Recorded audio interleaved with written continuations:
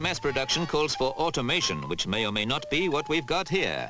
Is this or is this not a robot?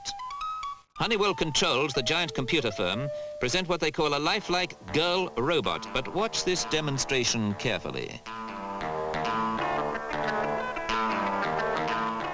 Closing that door to rig up the robot is suspicious. Is this computerized control or is it a conjuring trick? The robot is called Miss Honeywell, presented as the ultimate in automation the human-tronic saleswoman of tomorrow. At the Instruments, Electronics and Automatic exhibition at Olympia, she, or it, or maybe he, had the boffins bewildered. Study Miss Honeywell yourself.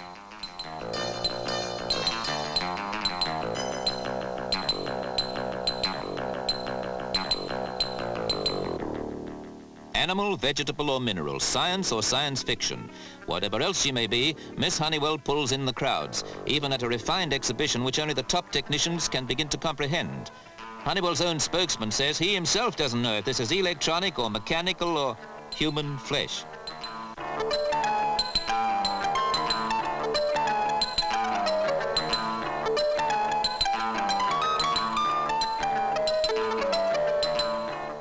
The compere of this show tells his audience that Miss Honeywell would make a good assistant to any sales manager.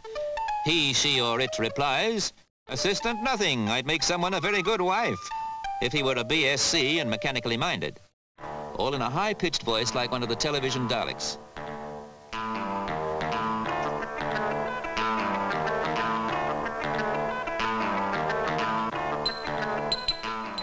That man may give us a clue. He's just charged Honeywell Controls £2,000 for bringing Miss Honeywell over here to do her tricks from Hollywood, of all places.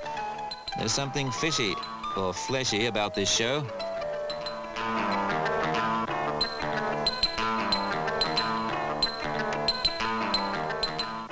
Now, what's the man's name? Mark Wilson.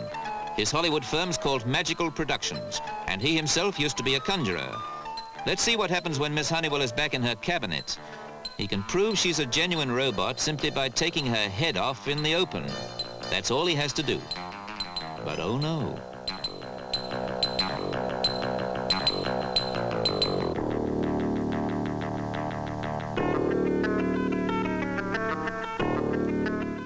He's closed the cabinet, he says, because there are delicate microcircuits, integrated digital logic modules not to be disturbed. Well, he could have fooled me.